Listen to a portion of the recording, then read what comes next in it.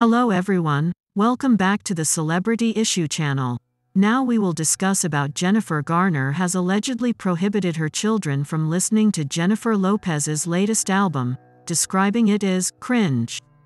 The rumored ban has sparked interest and speculation among fans, highlighting a potential clash between the two celebrities. Let's check it out. Jennifer Garner reportedly banned her kids from listening to Jennifer Lopez's cringe new album, Embarrassing. While co parenting Violet, Serafina, and Samuel, Jennifer Garner and Ben Affleck are still very amicable, some could even say too amicable. But that doesn't mean they agree on everything in their life.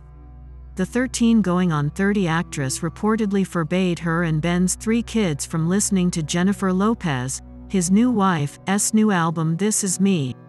Presently, as a result of what she says concerning their father, according to an informant who spoke with Life and Style regarding the 54 year old singer's latest album, which goes into great depth about her renewed romance with the Gone Girl actor, Jen thinks the whole thing is just cringe.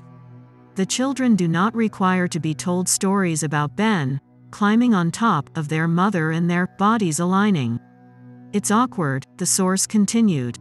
The Hustlers star has unabashedly discussed her relationship with the Batman vs. Superman, Dawn of Justice actor in great detail.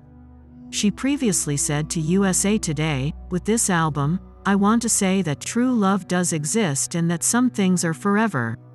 They don't abandon you even though they might not travel a straight path.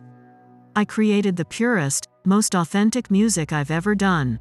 The album has a lot of sexually suggestive lyrics, which may be too much for young listeners, especially since the song's references to the kids' parents and stepparents are made.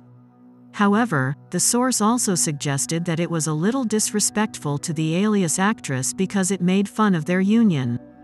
We can understand how hearing the Air actor affirm that he and the founder of JLo Beauty were always meant to be together would be difficult for the family switch actress to hear. Garner and Affleck were married for 10 years, between 2005 and 2015, and had three children together. Okay guys, thank you for watching. Don't forget to like, comment, and subscribe. See you next video.